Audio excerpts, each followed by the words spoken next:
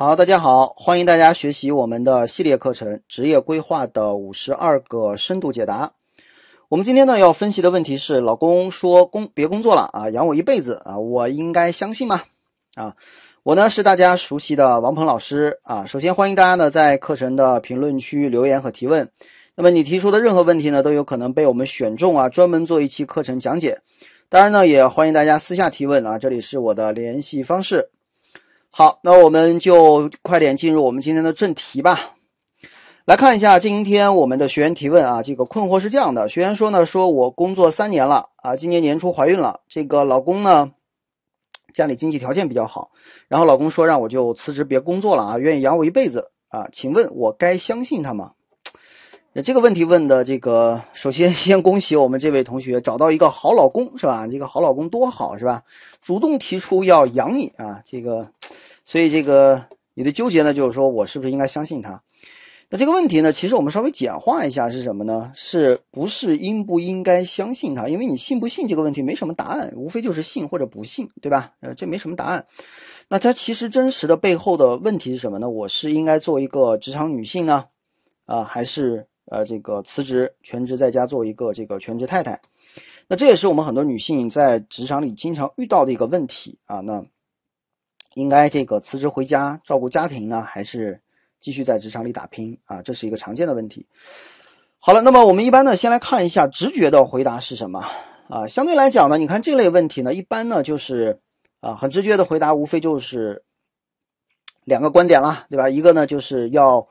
呃，当然做职场女性了啊，女性呢要靠自己啊，这很多女权呢会啊比较支持这样的观点啊，比如说你看这个最常见的一些观点，因为我拿这个问题去问过我们公司的同事，对吧？有的这个女生就讲说，男人的嘴骗人的鬼，对吧？人应该靠自己才踏实。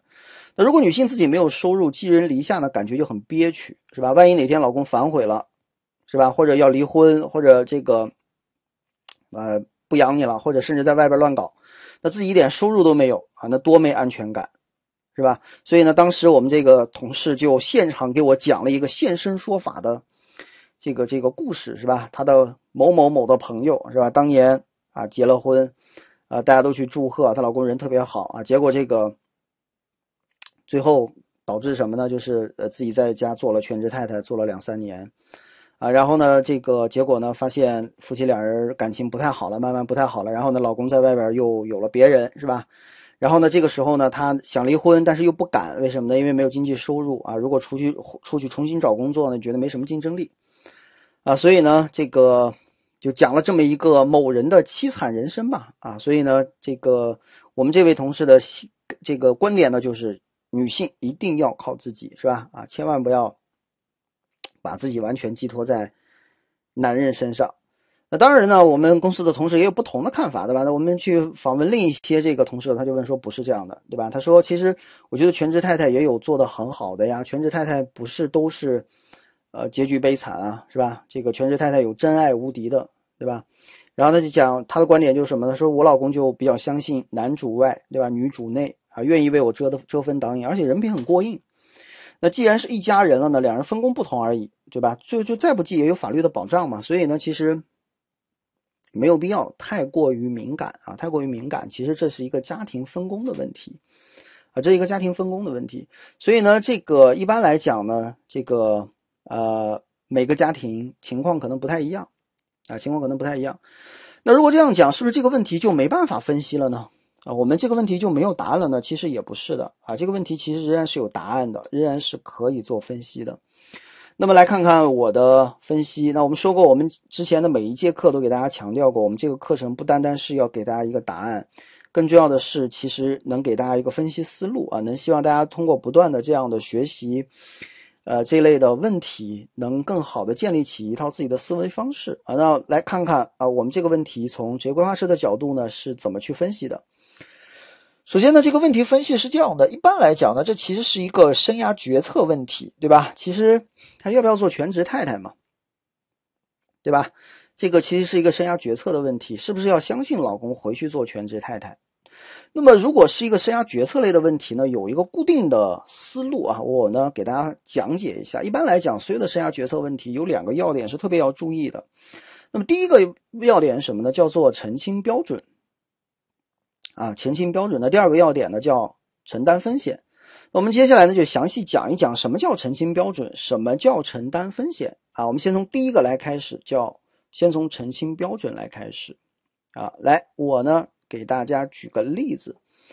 一般来讲啊，所有的决策，我们说澄清标准有一个前提是什么呢？就是当我们决定要做一个选择的时候，我们一定有一个指标，对不对？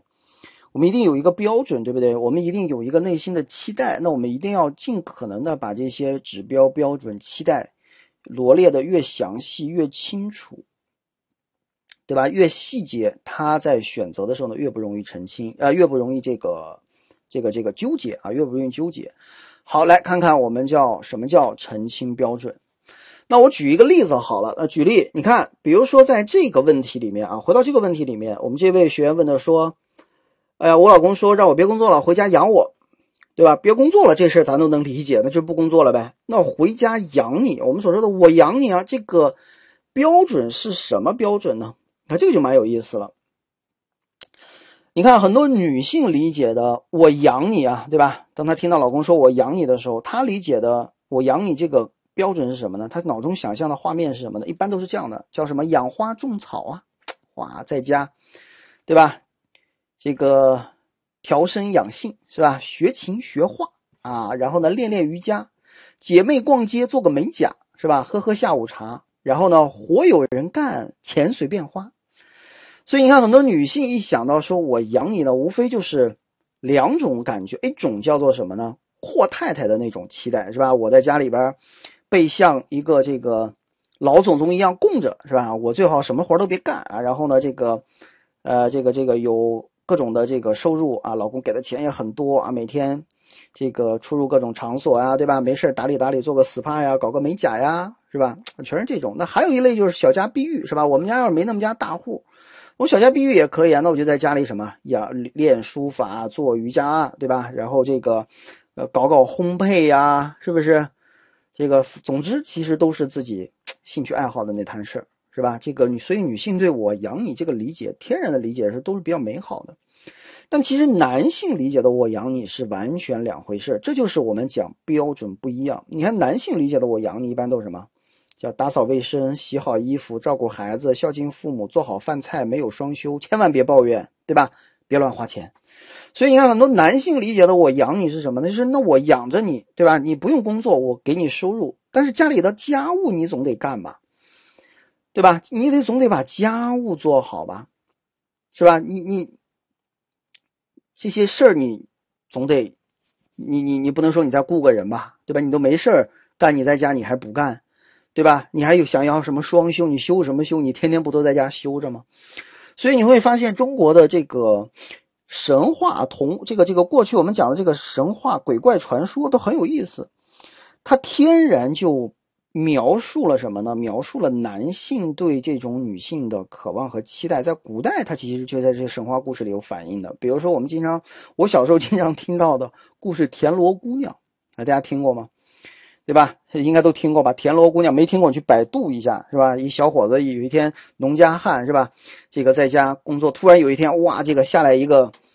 仙女对吧？田螺变的，这姑娘天天在家干什么呢？就是洗衣做饭、打扫卫生，做好了饭，对吧？把家里打扫的特别好，是吧？然后你看这田螺姑娘，其实所以这个中国男性传统男性普遍心里需要的什么？他其实要的所讲的我叫我养你，他其实想要一个免费保姆嘛，对吧？这保姆做特好，跟我关系还特亲密，然后还不要钱，这不就免费保姆吗？所以这就是为什么你看好多家庭的矛盾啊，尤其是在我养你这件事情的矛盾，根源来自于什么？就是来自于双方期待的不对等，对吧？男性理解的我养你都在右边这个，我们讲这个这个暗色的这一块是吧？他期待其实这个，那女性理解的我养你都在左边这块，那你在实际一执行就会发现双方都很失望，对吧？双方都很失望，对吧？男性也觉得。怎么是这样的，对吧？女性呢就更是那怎么是这样的？所以双方就很失望。所以第一个，你看我们讲决策类的所有的核心都是什么？第一个一定要澄清标准。那所我们所说我养你，那我养你到底的含义是什么？是吧？我每天做哪些事儿要做？家里的钱谁管？对吧？每天大概要花多少钱？是吧？哪些事我不用做，哪些事我能做，你们应该商量好的，是吧？那反过来说，各位反过来说，说那我不做家庭主妇，我希望做一个独立的职场女性，这也是很多现代女性的追求，对不对？好，那你做独立女性是不是需要标准呢？那这个标准其实也应该和家庭澄清的呀。那什么叫独立女性，对吧？标准是什么？每天几点回家？哪些家务活要做？哪些家务活我不做？收入谁来管？家里的东西，这个这个支出是要 A A 吗？对吧？那独立女性的标准是什么？所以你看，很多时候这个。职场女性很多的烦恼，说我不做全职太太，其实她也有很多烦恼，很多烦恼来自于什么呢？就是家庭里边对职场女性的定义也没有统一的标准，对吧？所以好多女性。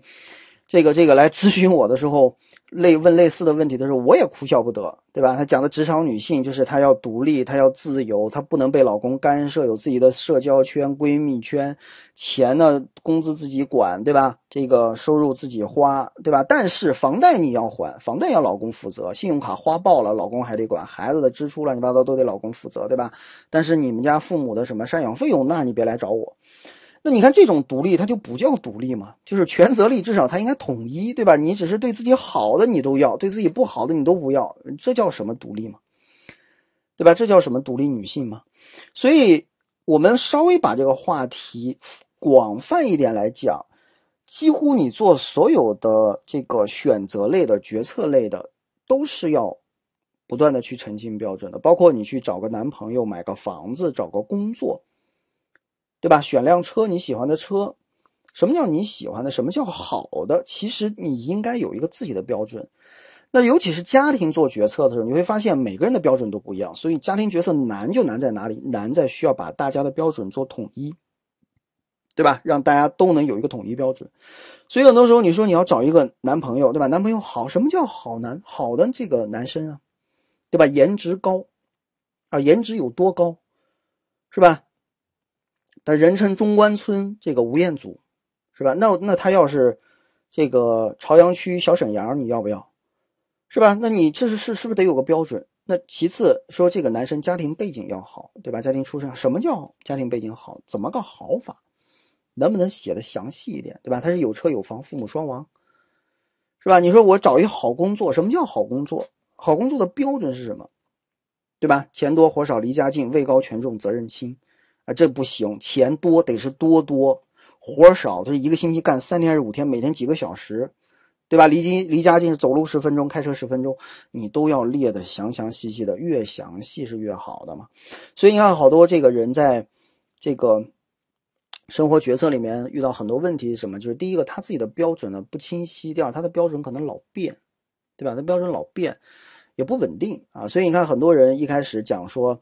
这个这个这个这个这个，尤其是年轻人找工作，说我要找一个我理想当中的工作，到最后来找来找去找不到，就在家啃老了。你会发现啃老就最理想嘛，它符合你所有的要求，不用累，不用辛苦，没压力，对吧？没绩效还给钱，我这不就是完美工作吗？所以你看，很多时候你的标准呢，第一呢要统一，第二呢，你的标准其实要越细越合理，对吧？你很多标准都是冲突的，都是矛盾的，他没法在现实生活找到这么一个人。对吧？找到这么一个事儿，它就就出现不了啊，出现不了。所以呢，是第一个啊，我不知道大家听明白了吗？啊，标准一定要澄清啊，标准一定要澄清。好，那么第二个呢，我们讲第一个要素满足了，那么第二个要素是什么呢？第二个要素叫做要承担风险啊。什么叫承担风险呢？其实这个大家应该都能理解，因为所有的决策背后都意味着什么？最背后都意味着有风险嘛，尤其是很多重大决策，你特别纠结的原因是因为什么？因为你的机会窗口就这一个，你选完了就不能再选了。你选定一条路，那可能另一条路走不了，这就是代价嘛，对吧？你不能走另一条路，万一这条路走的不好，这就是你付出的代价，就冒险。但是这里面有一个问题，你要注意什么呢？我专门讲承担风险是针对这个问题来讲的。那我们这个问题说，老师，这个我老公说我阳。这个我养你，我应该相信他吗？好，那么请问，相信是什么呢？相信的核心其实就是冒险，对吧？相信的本质就是冒险。讲到这儿呢，我给大家讲一个这个之前马老师讲课的时候讲过一个段子，我觉得特别有这个道理，能能解释清楚这个事。像当年马老师讲过这个段子的时候呢，他大概讲了这么一个故事，说什么叫相信啊？他说有这样的一个人，这个是一个走钢丝的大师啊，这个人一辈子都走钢丝啊，百米高空，对吧？就拿一个平衡杆，然后在这个钢丝上走，还做各种惊险动作，从来都没有失手过，是吧？从来都没有失手过。然后呢，有一次他做这个一场演出的时候呢，就想挑战一下自己，他就跟这个现场的这个观众讲说：“今天我们做一个高难度的挑战啊，从来都没有过的挑战。”什么挑战呢？说今天我呢打算这个之前做那些难度啊，这个动作咱们都玩过了，这次玩个新的，怎么办呢？就是我呢还是走钢丝，但是呢这次我会让我的孩子骑在我的脖子上啊，我的孩子大概五六岁啊，我有一儿子五六岁，他骑在我脖子上，我呢扶着我们家孩子，而且手里不拿平衡杆啊，从这钢丝上走过去，你们相信我能做到吗？他讲完之后呢，下面沉默了一会儿，然后掌声雷动，大家都喊相信，是吧？你大师嘛，是吧？都喊相信，你一定能做到。然后这大师说好，没问题，那我就来试一下吧。然后呢，就 让他儿子骑在他脖子上，然后呢就开始走这个钢丝。当然过程当中有各种惊险啊，险象环生，最后还是走完了这一段，平安无事。然后呢走过来之后呢，哇，下面的观众都惊出一身冷汗啊，然后都拼命鼓掌，太厉害了。这个大师果然厉害。接下来这个走钢丝的哥们呢，哎，结束之后呢，从这钢丝上下来呢，接着问说：“好，大家相不相信我技术很厉害？走钢丝的技术厉害？”大家说相信厉害，对吧？都鼓掌。然后呢，这个大师呢说，接着说：“好，既然大家都相信，我们接着再往下走一步，怎么走呢？就他就走到台下去，走到一个观众的旁边。”这观众呢，带着他的孩子一块来一块呢，这个来看这个演出。孩子呢，也他的孩子也五六岁。然后这个这个走钢丝的大师就跟这个观众讲啊，说：“您既然这么相信我，能这个技术好，对吧？能带着孩子在钢丝上走，那这样好不好？你把你的孩子给我，对吧？我呢，接下来背着你的孩子啊，让你孩子坐在我肩膀上，带着你的孩子在钢丝上走一遍。”也一样没问题，请问您相信吗？对吧？观众想了想说：“我相信啊，但是我不愿意，哈哈，但是我不愿意，听懂了吗？”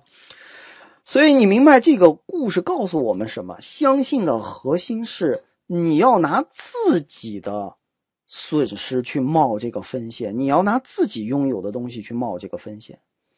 那么在这刚才这个，你看这个故事里面，你说这大师能力行不行呢？行，没问题。我确实也相信他是个高手，一般不会出问题的，对吧？但是我呢，为什么要让我的孩子去冒险呢？万一出了问题呢？这风险不就我承担了吗？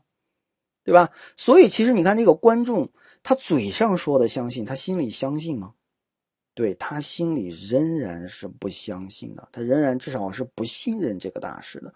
如果信任的话，那我就把我孩子交给你了呗，对吧？所以我嘴上说我相信没问题，我你很厉害，嗯，但是你要用我们家，你要用我们家孩子，免谈，对吧？滚蛋，是吧？那你看，你本质上其实就是心里还是不相信的。那为什么？因为你不愿意冒这个险嘛。所以所有相信的核心是什么？都是去冒险，对吧？都是去冒险。都是去冒险，所以你看，像很多时候，这个这个，只是我们可能没有意识到这一点。你去餐厅吃饭，对吧？你点完了餐，然后呢，其实你也冒了一个险。你冒了什么险？你相信他，他这个这个店家会把餐给你的嘛？对吧？因为商业社会，你默认这个规则应该是成成立的。然后这个店家其实也冒了险，冒了什么险？冒了你吃霸王餐的风险，先让你吃饭后买单，对吧？你去很多餐厅都是先点餐，点完了餐说了，来买单结账，对吧？那其实餐厅有没有冒险？冒险了呀！你万一遇到一骗子怎么？万一遇到一个就是吃白食的，说我就是没钱，我就是不给，你能把我怎么着？对吧？所以餐厅冒的这个风险是什么呢？就是遇到霸王餐的风险嘛。那餐厅为什么愿意冒这个风险呢？是因为他相信遇到这种事情的时候是有机制能解决的，比如说法治社会会报警啊等等之类的。所以你看，很多时候我们讲一个人决策的时候，为什么会出现叫旁观者清，当局者迷呢？又是因为旁观者他不需要冒险，对吧？他有各种方法，但是他不需要自己承担损失啊，对吧？你败了就败了，我又不承担损失，那我只能说，哎呦，当时，哎，是咱确实应该那么干哈，对吧？你最多安慰两句，你自己没有任何损失，你损失什么呢？但是为什么当局的那个人就很谨慎，他就很容易紧张？原因就是因为他要拿出自己的这个损失自己的东西啊，他是在冒险的。所以呢，你看，当这个问题，我们回到这个问题里说，老公他说这个养我，我该信吗？啊，好，你信不信？很重要的一点是什么？愿不愿意拿你未来的生活去冒这个险？你愿意拿你未来的生活去冒这个险吗？对吧？首先第一个，如果你能承受这个冒险的结果，那么冒险也没关系啊，对吧？比如说你们家也特有钱是吧？江南富商富豪是吧？那没关系，对吧？老公有天这个这个这个不养我了，对吧？在外在外边有新欢了，那离婚，对吧？家里边有的是钱，我父母家有的是钱，父母接着能养我，能给我托底，那就没问题，对吧？那你就不纠结说相不相信了，是吧？这有什么好相不相信的？好，那么很常见的一类是什么？可能我付不起这个风险，对吧？这个风险万一出现了，我承担不了，那么这个时候就要跳到我们的第二条，我们就要讲的叫做。尽量不要纠结于单单一选项，有没有可能去增加一些多选项做比较？什么意思呢？那你可能觉得想去尝试一下，对吧？这个老公说我养你啊，那我也相信他，我愿意去试一下，对吧？我也愿意去冒险。但是我仔细想了想，万一这个这个这个这个这个信信错了，对吧？万一这个失败了，那我这个可能确实面对这个离婚啊、分家呀这样的没工作呀这样的结果，我接受不了。